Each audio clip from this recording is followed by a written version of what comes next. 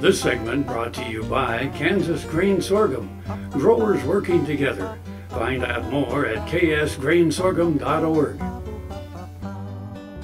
A cowboy has a lot of dirty, messy jobs, and oftentimes that involves the south end of a cow going north.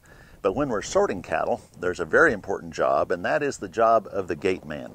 It's kind of a thankless job because he has to make some split second decisions. In his honor, this poem is entitled The Gate Man. There are certain thankless jobs that you encounter in this life, like a policeman given parking tickets, or perhaps the farmer's wife who is sent to town for parts. Oh, it's about yay big. We don't know the model number, but it looks like a thingamajig. Those jobs are truly thankless, but among the cowboy clan, there is no job so thankless as that of the gate man. When we go to sorting cattle, then the gate man's simple job is to open and shut the gate when we separate the mob. But that task ain't nearly as simple as it sounds. He must decide in a split second with chaos all around. He may have angry steers a barreling straight toward him, or a crazy cow that will dodge or jump or kick upon a whim.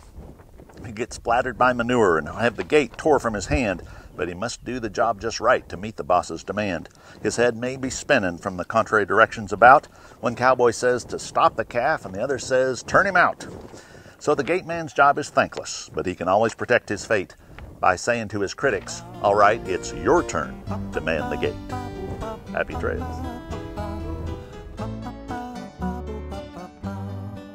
Brought to you in part by the 65th Annual Eskridge Labor Day Rodeo, September 2nd and 3rd.